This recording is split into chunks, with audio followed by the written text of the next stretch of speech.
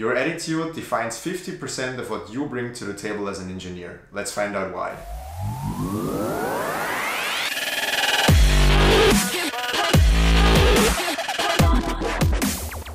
Do you have the perfect job? Is every project you're working on super interesting and every coworker is a dream to work with? I bet you just said no.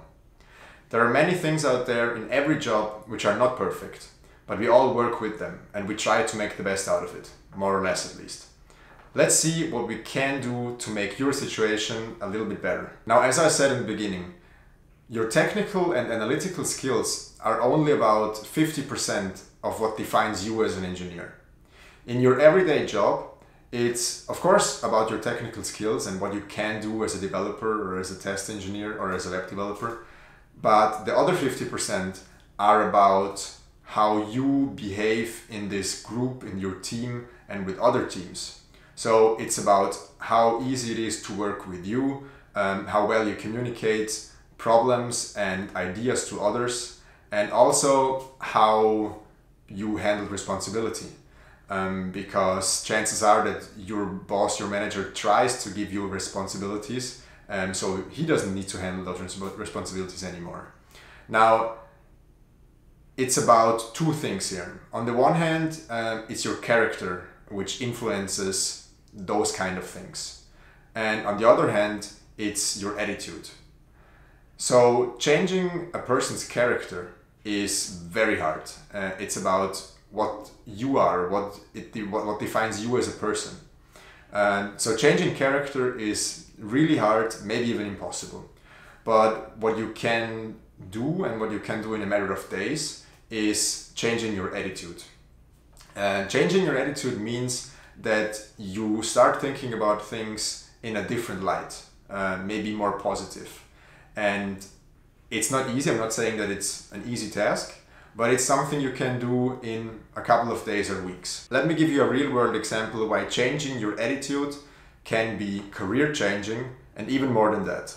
Now, there was an engineer in a past job of mine, and his technical skills were excellent. He was a senior developer, um, but it wasn't easy to work with him. Um, he was a senior developer, as I said, but it stopped him from growing further and having a wider reach uh, in his career. So at some point, he realized that the thing that was stopping him from growing further was his attitude. It was how he approached things and how he acted when other people were around. So his negative attitude towards many things and many projects um, led him into a position where everybody knew that he is very good at his job but he wouldn't get the really interesting projects. He wouldn't get the big projects. And even if he was involved in the big projects, people tried to keep him out of the loop because it was just extremely tedious to work with him. He was in meetings and you know in architecture reviews and things like that and he had very good knowledge about all the technical aspects but it was just a pain to work with him and to argue with him because he was not only skeptic, but he was just negative everywhere.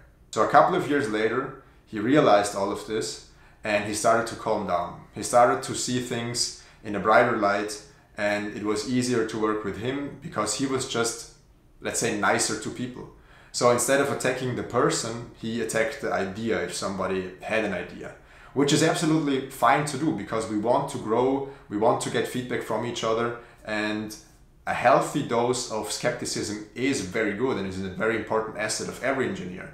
But being too negative all of the time is gonna stop you from growing and it's gonna lead you into the same position as this guy was. People will try to leave you on the side and will try to work without you. A couple of years down the road, this guy realized that his negative attitude and his quick tempered behavior was holding him back from growing further.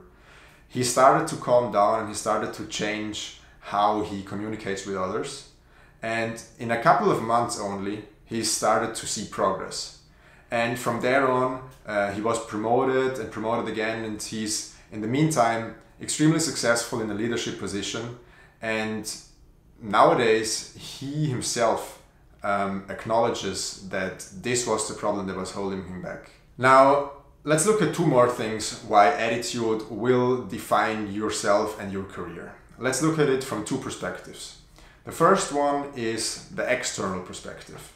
Why are you employed? To solve problems. We're all engineers, we're all developers and uh, test engineers and front end developers and designers and whatever it may be, but you are employed because your company is looking for somebody to solve problems and make progress on some sort of project. So, as I said, a healthy dose of skepticism is very important, but at some point, you have to realize that you shouldn't fight back all the time.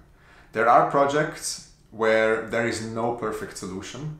There is maybe not even a half perfect solution, but they need to get done and they need to be done in a timely fashion. And sometimes that also means that you're doing something now and in a year on, uh, you'll have to rework it. But if this is what the business requires, then just go with it. Um, your manager, your boss is to be happy if you give feedback, and it can be negative feedback. But in the end, he wants you to come up with a solution. So in that case, you just have to swallow it and come up with the best solution in this moment. And from there on, it's really important. From there on, the last step is going to be committing and not looking back. Now, why is this commitment so important? This leads us to the second point, where we look at it from your own perspective, so internally. Now, if you don't commit and you have you contemplate, you look back all the time and you say, "Oh, why why did I do this? Why did we came up with this solution? Why are we doing this project in general?" The whole time you're going to work on this project, it will drag you down. You will have bad thoughts all the time, and it's not going to be fun. Um, not only you are uh, having a bad time, you're dragging down all of your team. And this is another really negative thing that you don't want to have on your performance reviews. You don't want to get into the situation where your manager realizes that because of you, the whole team is in a bad mood. So, as I said, once you commit to this problem and commit to solving this problem, uh, you need to go forward with this and not look back and try to make the best out of it. Because not only is it going to make a good impression uh, in front of others. It's gonna help yourself as well because you're gonna work on it. You're you're gonna come to work every day, and you'll be positive. You'll start to like the project, even if it's something stupid and you don't think it's a good idea to do. But because you just have a better attitude, a positive attitude about it, it's not going to be as bad to work on. So, in summary, we can say if you come into the situation where you have a negative attitude at work, try to break out of this vicious circle because this vicious circle is starting with something negative uh, where you don't commit and you contemplate all the time you come to work with a negative attitude you drag the team down which then has a negative impact on your career which gives you negative reviews and of course this only makes your whole situation worse because now you feel like you're not making any progress in your career so at some point you need to break out and it won't feel nice in the beginning because there is no objective metric which shows your progress. You just have to trust this process and be positive, force yourself to being positive, and you'll notice after weeks and months that this vicious circle is broken and that you come into you come to work with a better attitude, which makes your work better, which makes your team better, and in the end, all of your career will benefit from it. Alright, this is today's video. I hope you like this more psychological topic. Uh, I think it's as important as the technical ones. If you feel like you need some coaching or interview training, go to successintech.com where I offer mentoring and coaching uh, for developers, engineers in all stages of their career.